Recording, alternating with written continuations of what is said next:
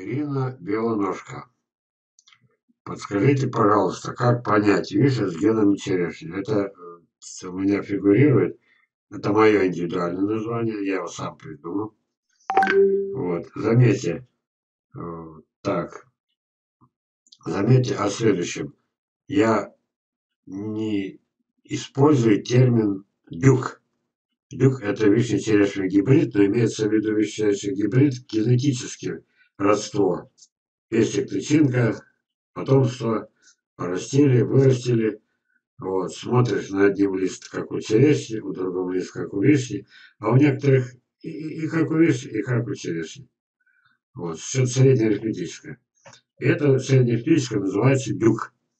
Давайте тогда различать. Вишня с генами черешни это, ну не с геном, как здесь, с генами, это просто вегетативный гибрид. Это мы привили черешню на вишню, а потом что получилось крупнее вишни, вкуснее вишни, дотягивает до черешни, не дотягивает. Ну давайте смотреть. Вот он, видите? Вот. Вот и э, как мне же, помните, как я говорил, мне надо знать всю историю. А как ее знать? Один единственный пример. Я, я ну, 200 вебинаров, я этих историй сколько рассказал. А вот так, чтобы все сгруппировать, извините, наймите меня, дайте мне миллион рублей, я месяц просижу, и вот. Да меньше не согласен, потому что от такой работы крыша едет. Итак, история появления этого дюка. Значит, получилась вишня, была вишня, на ней погибла черешневая прививка.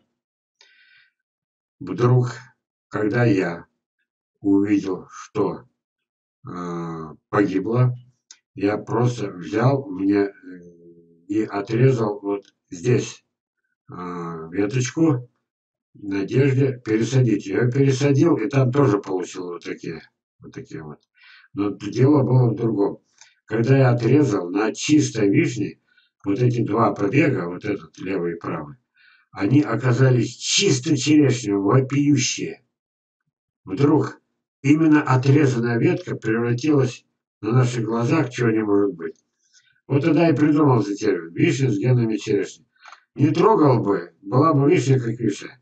Вот можете даже посмотреть. Вот вишневое листья, а вот это черешневое листья. Вот. И у меня таких примеров много. Ну, вы откажете от таких плодов. А теперь возьмем косточки, они у меня есть. Вырастим. Что будет? Вот. Давайте так. Фото от Александровой, Калининградская область. Вот. Ну-ка, ну-ка, с мной связался Долматов, заказала две бутылки лакмастики. Так, про это мы потом. Работает у меня в WhatsApp новая, как она называется, новая группа. Так, пока не отвлекаемся. Итак, из черенка, срезанного с вишни сибирской штамма с генами черешни, вегетативный гибрид получилось одно дерево с крупными вишнями, Заметьте, вишня сибирская штамбовая была. Но утверждаю, что гены черешни были. И так получилось вот такая вишня. Вот такая черешня. И вот такая снова вишня. Вот. Эти чудеса, эти мои, не мои фотографии. Человек не мог так надо мной прикалываться, мы уважаем друг друга. То есть я все это принял за чистую монету. Но это вегетативный гибрид. А вы знаете, что если вы в косточке вырастите, там будет разброс. Вот.